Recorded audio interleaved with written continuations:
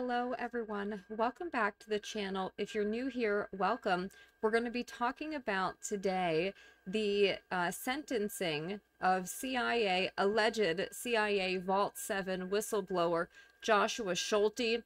If you are not familiar with this story, uh, his alleged whistleblowing to WikiLeaks with the Vault 7 leaks, which was the CIA's entire cyber arsenal, I highly recommend you go back and watch my prior videos on it, which I will link in the video description. So if you just click on the description here, you'll see links.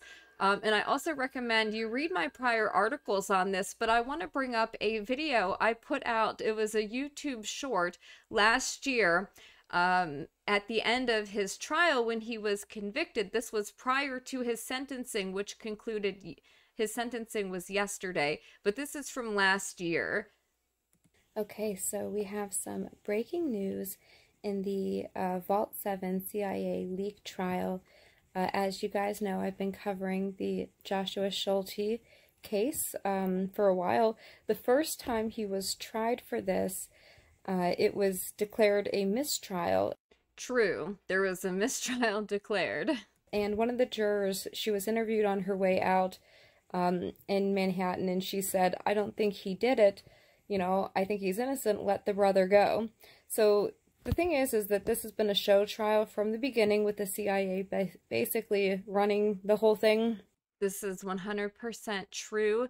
They were in control of the entire trial.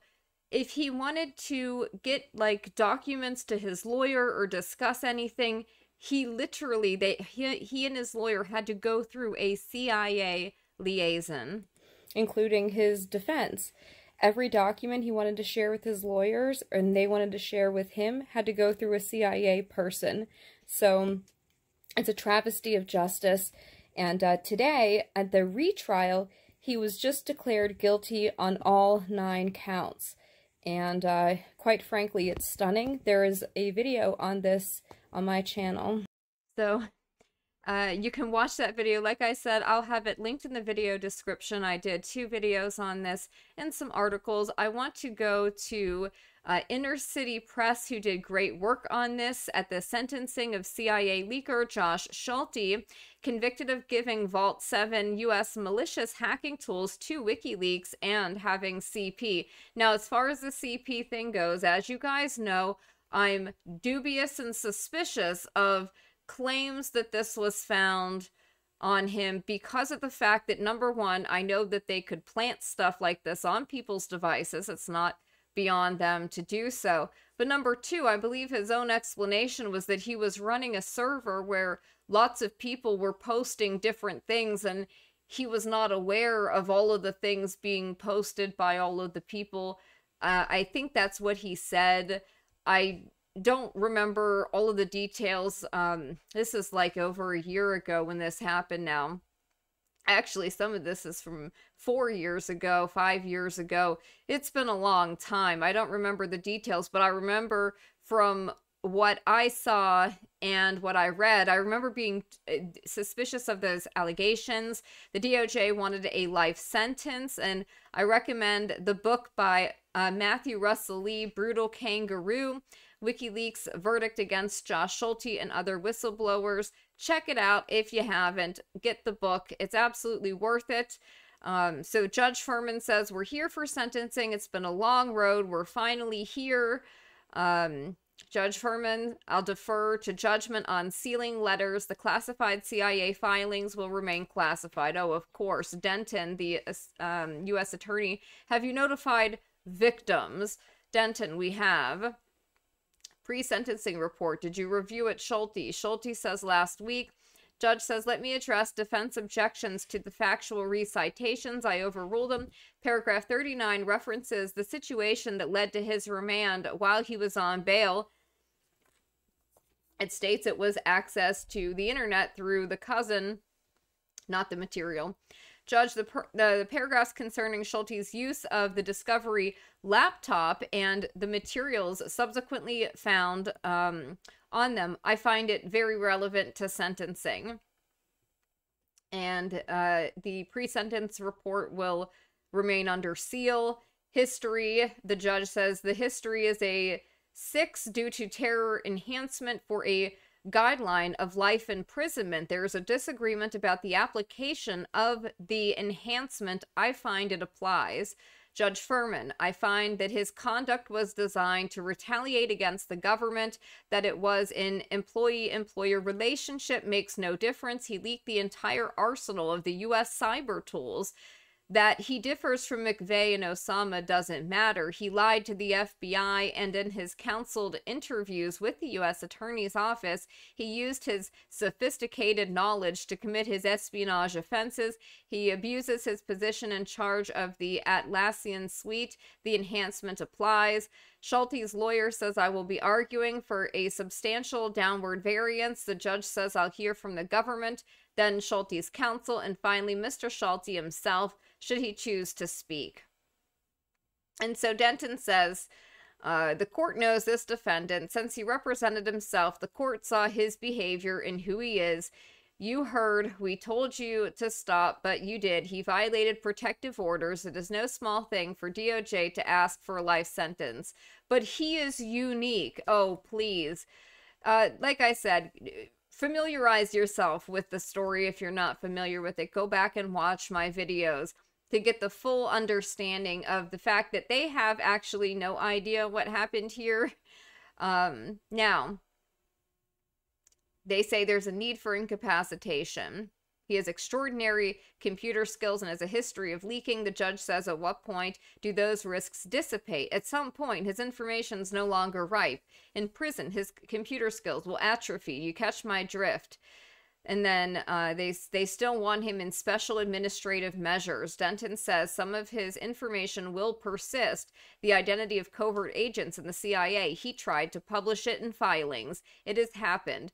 Those uh, these information will remain sensitive as long as those operatives are alive. Uh huh. The judge says some have called the T enhancement taking a wrecking ball to the sentencing guidelines. Can you address that? Denton. It reflects the seriousness of the T crimes. Congress decided this in the history enhancement. It's hard to rehabilitate. Judge, what about restitution? Denton will calculate in 90 days. Schulte's lawyer, what is the least necessary punishment here? This is a difficult case. Schulte has certainly been convicted of very serious crimes. Is he capable of redemption? Yes, the conditions of confinement have been so debilitating he's unlikely to do this again. He still has hopes and dreams, the simple things in life, a face to face meeting with a loved one, a private conversation, the sun on his face. Lawyer, has he forfeited all this forever? We say no. We are not relitigating the special administrative measures. His torturous conditions go beyond what he did the court told the MDC, you have to consider humanity. Yeah, they were holding him in torturous conditions um, in the prison there in Manhattan. They had him bolted to the floor naked in special administrative measures, meaning he can't talk to anybody, can't talk to even family members. It's disgusting his lawyer. It has been torture, lockdown 23 hours a day. His lights are on all the time, nonstop white noise. Um, they've done this to other political prisoners that when they try, they're trying to literally like mentally break them. Okay, it, it's cruel and unusual punishment.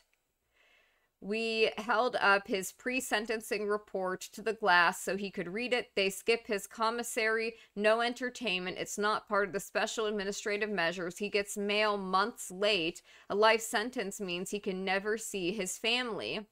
Judge, you say without enhancement it'll be 210 months. I calculate 310. If you subtract the points from groups, it's 224 to 405 months, opine. Schulte's lawyer, you're asking me to do math on the spot. Even 405 months is not life imprisonment. His lawyer says I was in a hearing in the other courthouse recently. Judge Hellerstein eliminated the movement across to criminal history six month, uh, criminal history six uh, Denton, any math? Denton, we agree on the math. Judge, forfeiture. Schulte's lawyer, we haven't had the chance to speak about it. I only got it this afternoon. We oppose forfeiting any hard drive with his resume on it. His lawyer says some of the devices seized are not related to the offenses. The judge says, I think I have to impose forfeiture along with the sentencing. Unreal. Judge says, Schulte, if you'd like to speak before I sentence you, this is your chance. Schulte says, I have 25 to 30 minutes if the court allows it. Uh, the judge says, go ahead. Schulte says, I have been tortured worse than any other prisoner in the Western Hemisphere. I have no access to the library. Instead of 300 monthly phone minutes, I am given 30. I am restricted in mail. The FBI sees as much of it. I have no access to religious, uh, so he doesn't, he's not allowed to have any uh, access to any religious services. The federal government tortures me 24 7, white noise and solitary confinement. The window is blacked out. When I am offered access to law library, I have to urinate and defecate on the floor. I am left there for nine hours. I was left with sewage. I have been locked in my torture cage with rodent excrement. Ice accumulates near the window. I wash my clothes in my toilet. I'm forced to eat with bare hands like an animal. They lock you down they look down on you like you're not human. We are shown off like a zoo. He says that they'd say, There's El Chapo. There's the guy who ran over these people on West Side Highway. This is New York City's very own Auschwitz. Dickens said solitary confinement eats the prisoner from the inside out. Only the SS could dream of this. Concentration camp is an apt name for my confinement. It's mental torture. Viktor Frankl I relate to. Nelson Mandela wrote about solitary. He begged for its reversal. He wrote, Every hour seemed like a year. I relished conversation with a cockroach. I do that too. It doesn't even seem crazy after a while. As a result of my torture by this government, there are fewer blood vessels in my brain. History will side with me. I am suffering a 30 year trial penalty. I was denied discovery material, including forensic imaging. They say I stole from a third server but did not give me access to it. DOJ seeks to tell all. Those who go to trial will be punished. The district courts don't follow the 937 guidelines worse than the CP guidelines. The uh, Second Circuit has expressed doubts in dictum. Follow the other courts. Probation proposes five times the average. WikiLeaks uh, released, and then he starts talking about WikiLeaks released Confluence, which the CIA described in 302s as insignificant.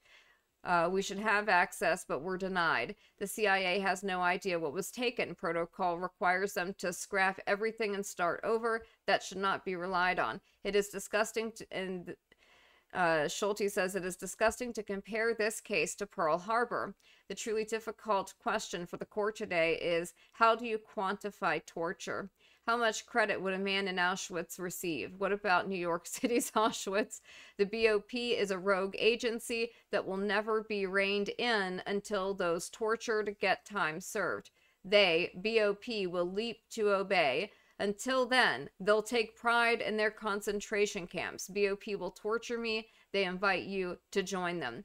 He's, he goes on to say BOP violates the Torah and all principles. I asked this court to reject the espionage guidelines. I asked for time served.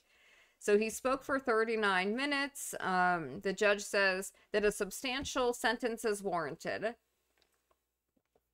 Um, he's he goes on to say that the damage was catastrophic to national security. No, you were just embarrassed, is what happened.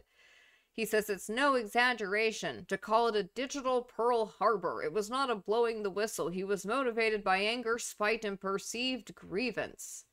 Mm-hmm. Uh, he says that he had no defense and expressed no remorse at the trial, and that he uh, demonstrated a desire to inflict harm.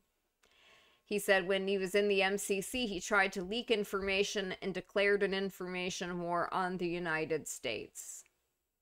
So he gave him 40 years in prison and has not addressed the torture that Schulte was subjected to. Now, moving to some of my articles on this, um, these are from the case. This is February of 2020. There are two critically important legal cases playing out right now with massive implications for the notions of freedom of the press, as well as the line between protecting national security and legitimate secrecy versus the public's need and right to know.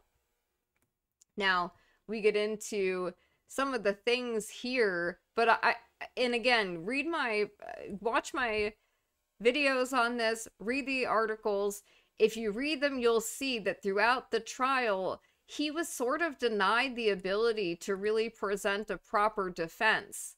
Um, this article is from March 5th of 2020. Again, going over the case, there's a lot of very good links here that has a transcript and exhibit library and detailed master timeline, color coded that you can. So, like, there's a lot of stuff here that is helpful for people if you are interested in understanding what actually happened here.